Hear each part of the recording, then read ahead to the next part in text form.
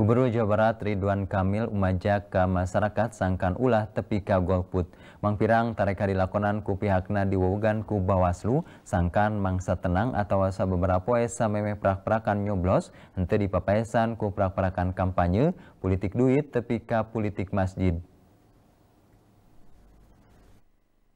Satu tas ngalakonan gempungan jeng Bawaslu Jawa Barat turta Bawaslu Republik Indonesia posenen anyar kaliwat di Gedong Sate Kota Bandung, Gubernur Jawa Barat Ridwan Kamil umaja ke masyarakat sangkan hente golput, boh ideologis boh teknis. Gubernur oge meredih masyarakat ulah AKI Inditan sangkan bisa ngagunakan hak sorana dina prak-prakan pemilu anu bakal dipaju kalawan walatra tanggal 17 April nu bakal datang.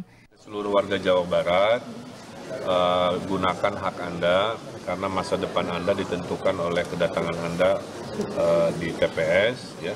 Jangan sampai kualitas hidup Anda uh, ini menjadi masalah gara-gara Anda tidak menyampaikan atau tidak memilih orang-orang yang benar-benar sesuai dengan harapannya kira-kira bahasa Liantik itu Gubernur anu diwewogan ku Bawaslu bakal satekah pola nyinglar prak-prakan kampanye nalika mangsa tenang. Pihak Bawaslu ge bakal ngalkonan patroli pengawasan samemeh prak-prakan nyoblos pilpres turta pileg. Kaitan itu menjelang hari H kita ada patroli pengawasan.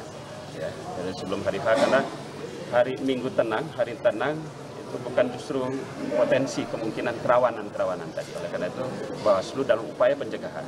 Ya melakukan dengan jajaran seluruh pengawasan Badan Bawaslu uh, sinergi dengan kekuatan kelompok masyarakat yang ada mencegah potensi-potensi tadi. Kalau masih eh, karena di dalam minggu tenang tidak boleh ada kampanye. Dina nasnasna Gubernur miharap taya politik duit tapi ka politik masjid utamana dina mangsa tenang anu karandapan. Budi Hartati, Bandung TV.